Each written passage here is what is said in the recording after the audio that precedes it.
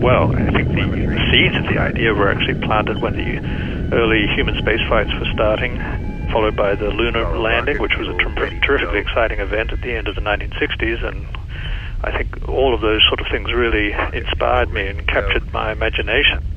Um, I just wrote a letter to NASA, kind of out of the blue, and asked them to send me uh, the application form. I got a call from one of the secretaries in the astronaut selection office, and they said to me, uh, "Well, if you're still interested, uh, we'd like to invite you to come down here and start astronaut candidate training."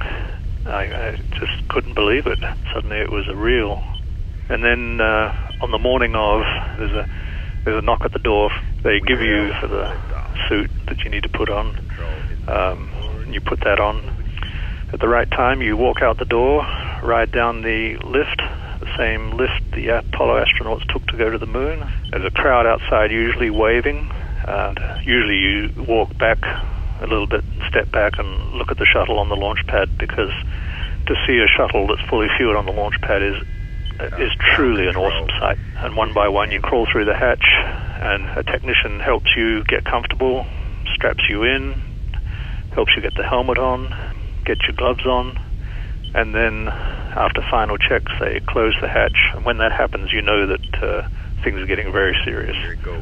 At six seconds before liftoff, uh, the engines are started.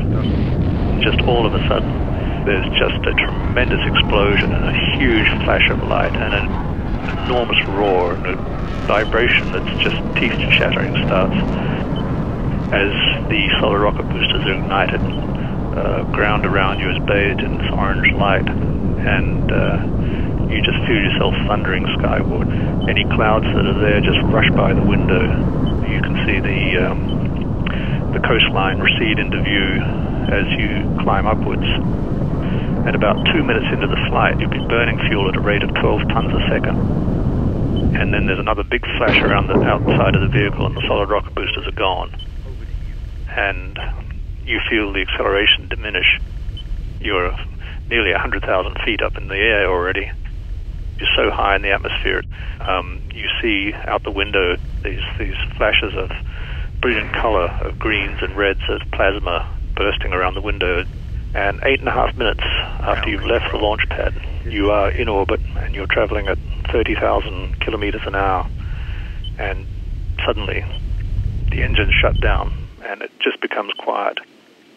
All that acceleration that you felt has gone away, and you see any loose items like straps or anything just sort of suddenly just lift up and float around, and you're in zero gravity and you've arrived.